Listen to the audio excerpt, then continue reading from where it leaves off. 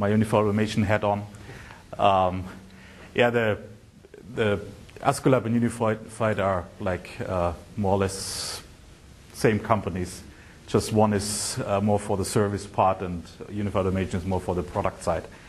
Um, today, I will just give you a short introduction what we are doing, and then why we think OPC UA is moving to the sensor level, um, and what we are doing for that. Um, so for uh, OPC UA, uh, we mainly support the whole life cycle of, of OPC UA. Um, so from building knowledge, so we, we offer training in different levels. Uh, then for building products, we have uh, different SDKs in, in different programming languages. And um, so like Java, we do together with Prosys. Um, and uh, like Jouni mentioned in his presentation, there's, there's some transition phase. Uh, so you have a lot of installed base for OPC. Uh, so we have uh, uh tools like UA Gateway that you can use to translate between the classic OPC and OPC UA in both directions. Um, and UA Expert is a heavily used test tool uh, to verify like uh, if an installed server works and also used by, by developers. Then we have a tool called UA Modeler uh, that is used by a lot of working groups for creating the information models, companion specifications. And the main purpose for us is to create then out of these models, create code uh, for the SDKs so you can directly turn your model into, into code that you can compile with, with, with the SDK. Um,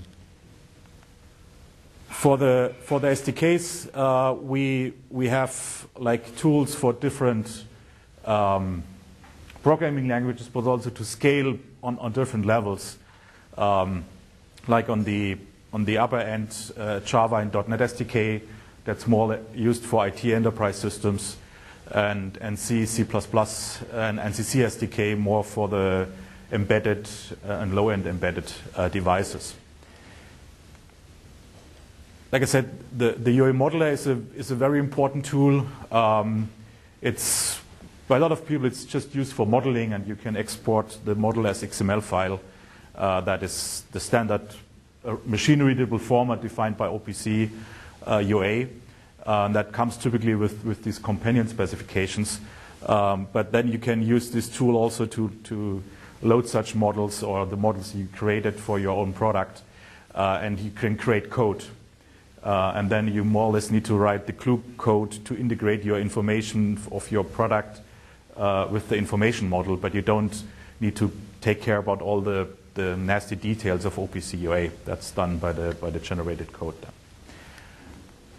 Um, on my theme about moving OPC UA down to the sensor level, I want to use uh, injection molding machines as, as example. I have a few other examples, but this is uh, a typical thing we can see at the moment is uh, there is, um, and even for, for, injection molding machines, there are working groups working on, on companion specifications. Uh, so it's even a good example for showing how uh, the vendors work together to, to make that happen. Uh, and in this case, Euromap is a, is a standardization group, uh, a European-based standardization group uh, um, for um, standards around plastic production, and um, important part is, is, injection molding machines. And they decided, uh, I think, uh, two years ago, to define a, a, standard interface of the controller to MES systems. Uh, and this is something that now, like all major injection molding machine vendors, agree to, and even uh, I think the last meeting had 60, 60 people in the room including a lot of MES vendors, uh, and this is now release candidate. Um, and so what we see is like on the on the MES IT side, uh, Java and .NET are, are mainly the main the main uh, SDKs used there. Uh, we also see some C++ SDKs, uh, but on the on the machine side, inside the controllers, it's, uh, it's mainly the C stack based, so C++ SDK and ANSI C SDK um, that is, is used on, on this side. Um, and then on the uh, a second working group that was started was to uh, integrate or to define the, the communication between the injection molding machines and handling systems like robots. So this is a this is a second working group in that Euromap uh, standardization together with OPC Foundation, and there you see on the robot side you see also like mainly C C++ SDK uh, on uh, on the robot controllers. And what's what's added to that picture is OPC UA PubSub over TSN, so they have real time requirements. Because you can imagine if if a robot is moving, uh, you want to make that based on the, on the right information provided from the machine or, or vice versa. Uh, so that, that, is the, that is the first companion specification that relies really on OPC UA PubSub over TSN. Um, and so this is, this is a typical setup we see for, for different areas, different machine types, um, that the external interface is, is, is moving to OPC UA and, and it, it's also driven by support by a lot of PLC vendor, so it's um, it's a it's a win-win situation for for everybody. Um, but now, where's where's the sensor level coming in? And uh, what we see at the moment is based on that external connectivity. Um, the machine vendors also try to use OPC inside the machine. So even if, if it's their own decision, so it's not the decision of their customers or not, not pushed by their customers, uh, like if you go back to this one, uh, in, in, the last meeting there was uh, like Lego was was in that working group meeting, and you can imagine Lego is one of the biggest customers for the injecting molding machine vendors, and they, they heavily push for OPC UA, uh, and and they they push for all the like security and all the the features and. Um, all the discussions where we talked about optional things, they always said, you can define it optional, but we will require it. Uh, so it was an interesting, interesting part of that, that, that working group. But, but to use it inside a machine is definitely not driven by, by their customers. It's driven by, by their needs. And the, the, what, what one of these uh, machine builders told me, they have up to 40 devices, uh, controller sensors, where they see potential OPC UA connectivity in the, in the future.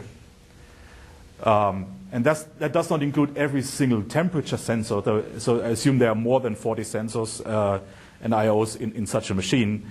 Uh, but still, it's, it's, it's 40 devices inside the machine they, they can imagine to connect long term via OPC UA to their, uh, to their main controller. Uh, and that's a Beckhoff one. It's because we are at Beckhoff, so um, I'm not sure uh, how uh, what kind of controllers are used in these machines. But um, the, the key thing is most of these devices are very resource constrained.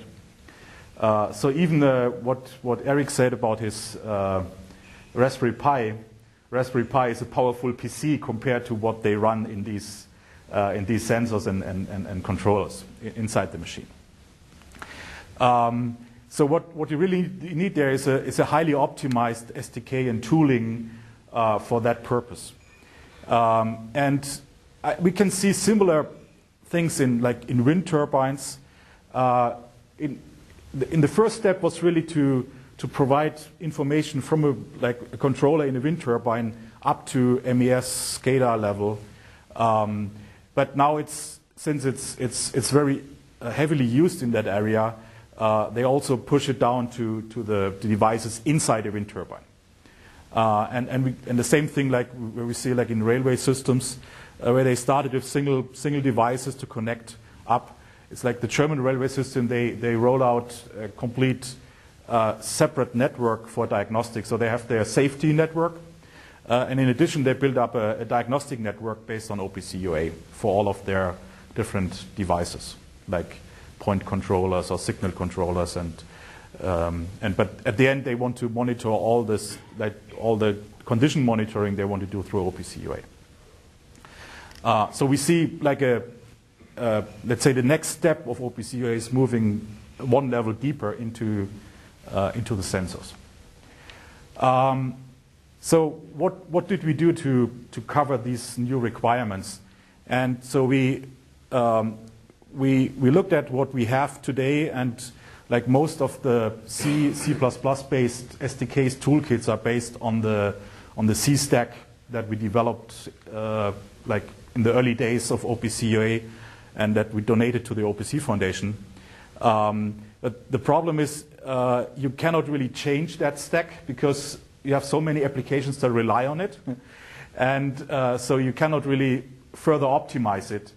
Um, and so the, the minimum resource requirement at the moment is we can go to one megabyte RAM and ROM usage, but you cannot really go smaller. And for such sensor level devices, a lot of them, they want to go smaller. Um, and also the communication stack has a significant uh, part uh, or impact to the efficiency of the communication because all the, the, the message handling is, is, is done inside. Um, and so the, we, we decided to do a complete new development from scratch, so uh, no reuse of anything that was there. Um, and the goal was to scale down to like 150 kilobyte of RAM and ROM usage, um, and also to improve performance communication, uh, communication perf performance of the communication, and reduce by that also reduce CPU load, uh, and to really from the beginning completely design it for very resource constrained devices. Um, and just to give you some, some insights here, this is a typical picture for existing SDKs. You have a, uh, a communication stack uh, that uh, we developed for different programming languages inside the OPC UA working group in the beginning. We did that like for C, for Java, for, for .NET. Um, and uh, so this is then the base for a lot of application libraries that build on top of these stacks. And that's what we provide as our main business model and, and, and, and product is, is these, uh, these application layer libraries. Um, and so with, with the new one that we just released last week, uh, we have a few key features. I think I already said uh, low memory footprint, but um, one thing is like is important that you can create or uh, allocate all the memory if you want at, at startup and have uh, memory pools for different kind of like you can define number of connections, number of uh, subscriptions. So everything you that requires resources you can pre-allocate and, and define what is what is used. Um, one feature that is very important is especially if you have in a lot of sensors you have like more or less a fixed address space uh, and you can completely run that address space out of flash so you don't need to load into RAM. Um, and what is else is interesting yeah there, there's, a, there's a concept a more enhanced concept for um, distributing load to different threads and, and processes. So you can even run uh, parts of of the process in, in a sandbox. Uh, so if you have uh, environments where you, have, uh, where you can uh, run processes in a, in a special environment, uh, and th there are parts of the OPC UA communication that are more, uh, let's say, um, more dynamic and more interesting for hackers to attack. And if you run, run that part of the OPC UA server in a sandbox, you, you can harden your system in terms of security. Um, and there are like different security backends and like what, what, what, what Eric said, uh, we are also working with, uh, with TPM module providers to, to directly integrate with their, with their chips because that's a very important part. So we think the, the sandboxing and, and the integration with TPM modules uh, will, will re really extremely harden the system in terms of se security improvements. Um, and so the, the, the architecture of, of the new SDK is completely different. So you, you cannot find a stack anymore. There's just uh, different platform layer modules, um, like for networking. So you have there are different networking backends, uh, different crypto backends. So we can support OpenSSL, but also other crypto libraries. And you can have different PKI backends. So, for example, integrating uh, different TPM modules or crypto chips uh, uh, over time. And then you have the functional modules on top of that. Uh, but there's no separation anymore between SDK and stack. Um, okay, so um, for us, applying OPC UA to the sensor level, there are a few key factors that are relevant on this level. Um, one is uh, we do not really see OPC UA for I/O communication on the sensor level. So there, there are dedicated field buses highly optimized for that part, and so there, you will you will not see a simple temperature sensor connected to a, a I/O card of a PLC using OPC UA. That will not happen for a long, long, long time. But where we see OPC UA is, is uh, for condition monitoring, so additional information about uh, about the devices, and and also uh, what is very important, like configuration. So to have a flexible dynamic configuration, self-describing devices, that's the strength of OPC UA. And we see uh, like a lot of lot more requirements in this area, and that, that, that pushes OPC UA down to that level. Uh, and what, what also comes with TSN is this converged network, so that today you have, you have specialized real-time networks uh, where you connect your devices, sensors to a PLC, and from the PLC you have your regular Ethernet uh, connections. And with TSN, uh, you will see real-time and non-real-time communication on the same, same network. And that, that is important to, to, to make use of these features because otherwise you always need to run through gateways from your real-time uh, Ethernet to, to non-real-time Ethernet. Uh, so this is a, a long-term, that's, a, that's an important part of the story. Um, so we, you need OPC implementations that fit the requirements for putting OPC into these little devices. So we think with our new uh, high-performance SDK, we, we fulfill these requirements.